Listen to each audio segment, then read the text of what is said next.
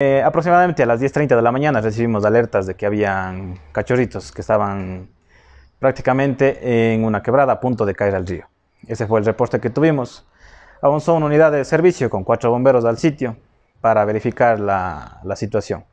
Al llegar a la escena, los compañeros verificaron que efectivamente había unos cachorros, pero que estaban prácticamente en un barranco. Esto sería junto al río, en la prolongación de la calle Jorge Araujo. Es donde tienen el garaje el personal del GAT municipal y las lagunas de oxigenación. En, en la escena en sí no podíamos trabajar porque al ser una zona bastante agreste y tener una pendiente prácticamente ya de 90 grados en el punto, por tal motivo nos tocó hacer un sistema de anclajes y utilizar ventajas mecánicas.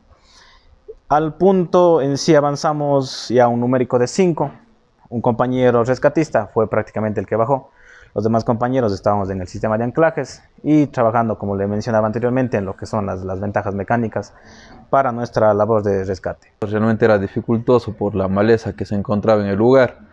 Dificultó bastante las labores ya que necesitamos también utilizar lo que era machetes también para poder abrir vía y poder ingresar con, con el equipo de rescate ahí al punto.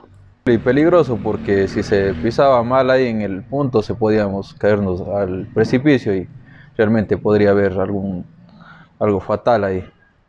¿A qué altura estaban los cachorritos de caer ya al río definitivamente? Ya estaban siquiera un aproximado de unos 10 metros ya para poder caer al río. Y ellos se encontraban refugiados en unas ramas. Aproximadamente había habido unos 50 centímetros de tierra que ellos se lograron sostener ahí y ahí se estuvieron ahí quietos pues, y no, no, y suerte no, no, no se cayeron al río. Si ellos estaban asustados el rato que llegué a verles, realmente ellos se lograron apegar a mi persona para que les brindara la ayuda. Sí, al momento que ya se les logró sacar ya lo que es a la vía, realmente estaban felices corriendo por el lugar y se les logró brindar lo que es agüita y pan el momento.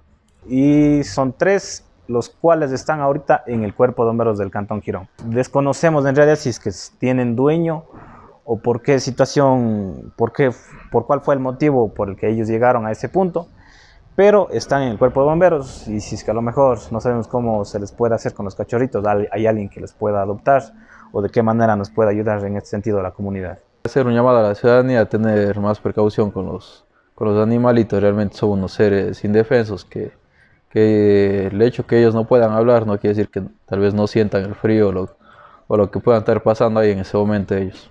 A todas la perso las personas o si a lo mejor hay los dueños que quieran reconocer, que se acerquen y puedan tal vez adquirir para la adopción, para que los, los puedan retirar. Está aquí en el cuerpo de bomberos de Cantón Girón y a la vez como ven los cachorros muy dóciles, muy, muy, muy tranquilos y juguetones. Como todo cachorro, es bastante, son bastante inquietos y juguetones.